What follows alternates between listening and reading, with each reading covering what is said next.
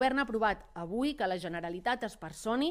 com a acusació popular en tots els procediments que se segueixin davant de la Fiscalia o davant dels tribunals en relació amb aquest cas. És important remarcar que a banda de fer-ho per convenciment, aquesta és una obligació estatutària. Els poders públics de Catalunya, a diferència del que semblaria que estan fent els de l'estat espanyol, han de promoure el ple exercici de les llibertats i els drets de la ciutadania i també han de promoure les condicions perquè la llibertat i la igualtat de les persones siguin reals i siguin efectives. Han de promoure, entre d'altres valors, el de la llibertat, el de la democràcia, la igualtat, el pluralisme, la pau i la justícia. Els poders públics també han de fomentar que les tecnologies de la informació es posin al servei de les persones i no afectin negativament els seus drets. Així doncs, amb la finalitat que totes les persones responsables d'aquests fets n'assumeixin les responsabilitats que els hi pertoquen, així com amb la finalitat de protegir els servidors públics i també defensar-ne els drets que els hi són propis,